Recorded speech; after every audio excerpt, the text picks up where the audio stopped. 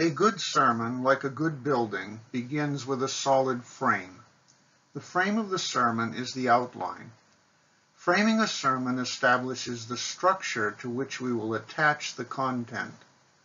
The information about the text, the illustrations, and the applications are like the walls, windows, and doors of the sermon. Without a good framework, all the good ideas we preach will not hold together. The sermon collapses under its own weight. The simplest frame for a sermon uses the key word model for preaching. The key word preaching model works like this. Start by asking a question in the introduction, then answer the question with your big idea. Introduce a key word that explains your answer. For example, there are three principles, or there are four solutions, or two lessons that we can learn from this passage. Use your key word for each main point to establish the framework for the sermon. For example, the first principle we see in the passage is, and then state the point on which you will hang your content. How can we say it so people remember it? There are some basic communication principles for framing a message. These principles are not arbitrary or rigid. They are merely sound observations about effective communication. Communication is the transfer of meaning from the mind of the source to the mind of the receiver.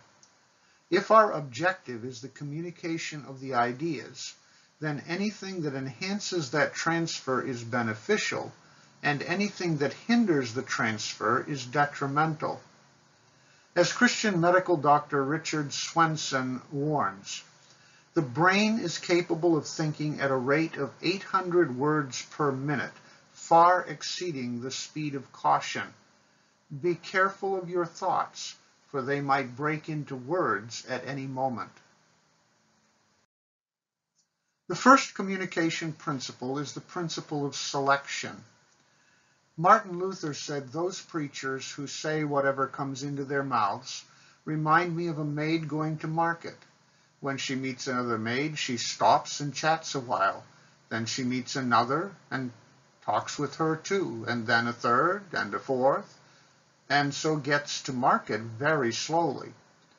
So with preachers who wander off the text. They would like to say everything at one time, but they can't. The preacher must be ruthless in his selection of content to include in the sermon. He must discard whatever is irrelevant to the development of his dominant idea. By this time you will have vast amounts of information and insight into the text that must be discarded or kept for another time and place. If you are not ruthless at this point, the sermon will lose effectiveness. Perhaps 50% of the material you gather in preparation will not actually be used in the sermon if you are preparing properly. The second communication principle is the principle of generalization or summarization. Many sermons fail because the preacher talks about people, events, historical details, interesting illustrations, and effective applications, but never gets to the point never arrives at significant generalizations. We must learn to summarize all of the detail in key points. This ability to generalize is difficult. We don't want vague, fuzzy generalizations, but rather significant, clear generalizations. It is very important mental discipline to be able to generalize significantly.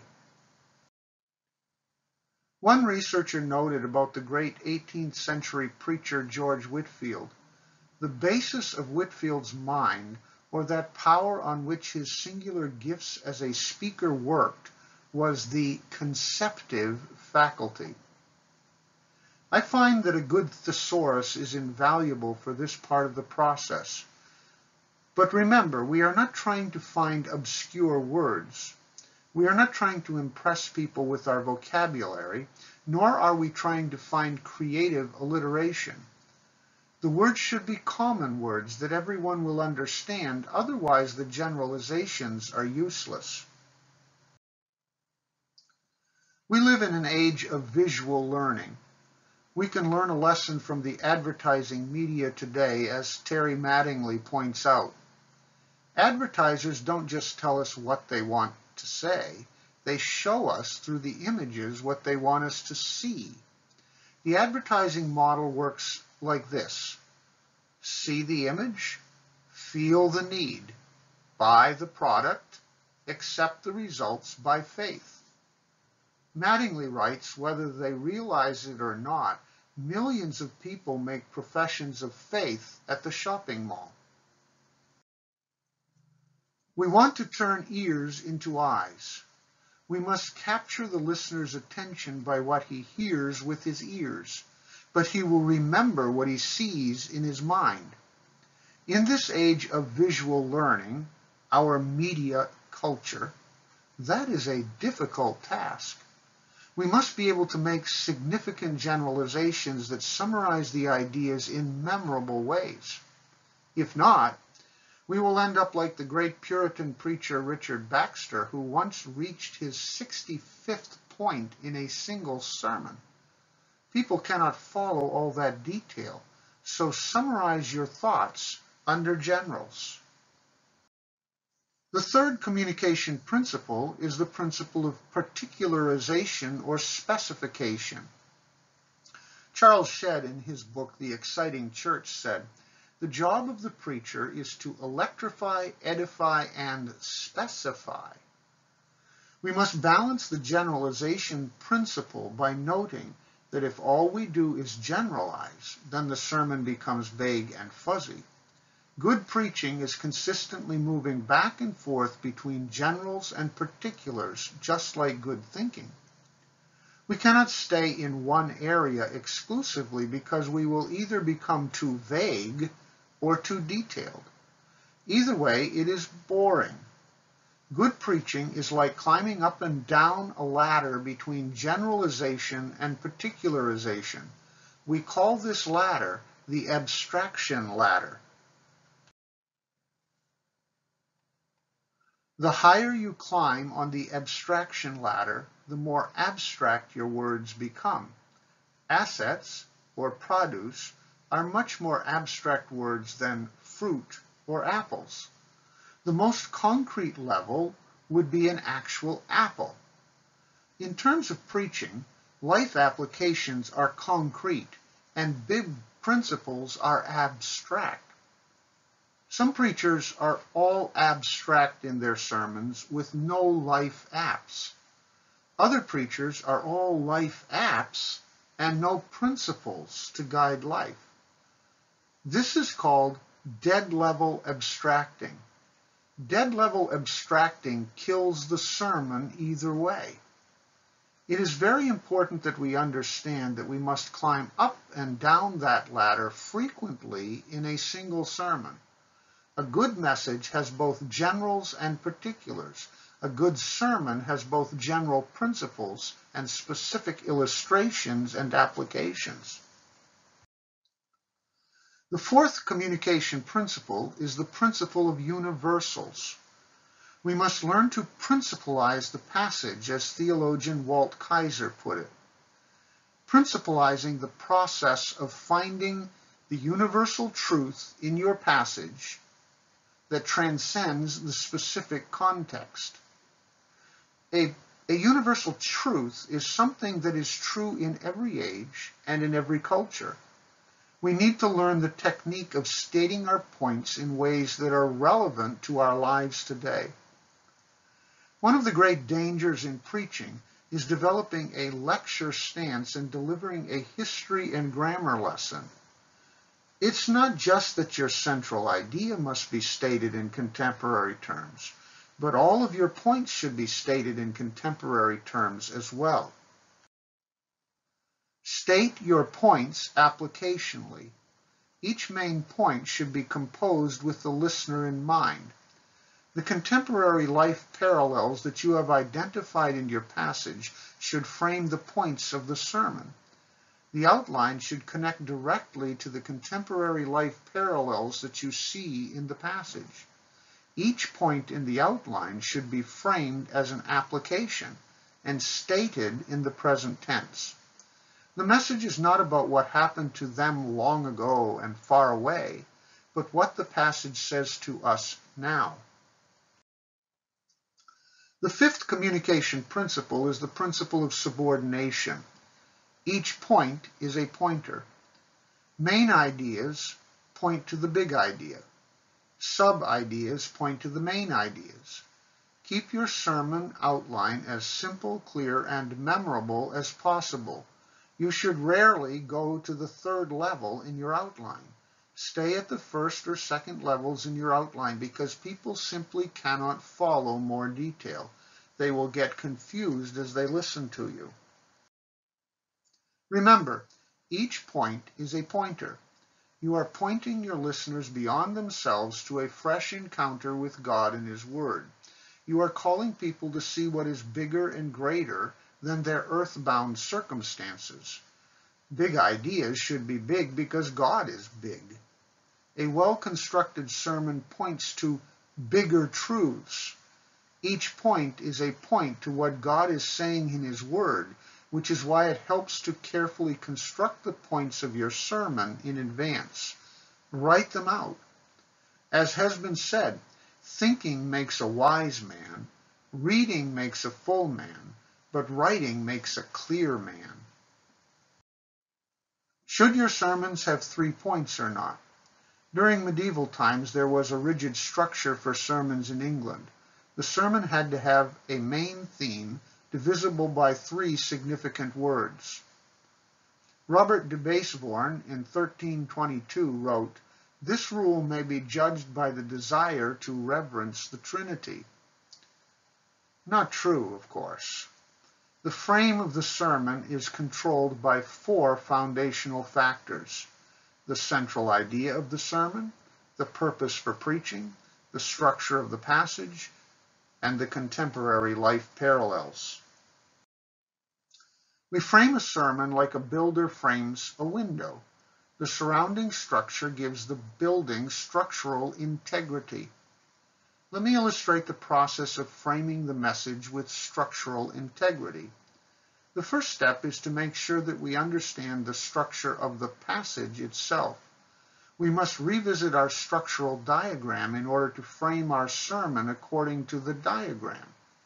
For example, here is a structural diagram of 1 Thessalonians 2, 1 through 4 using the New American Standard translation.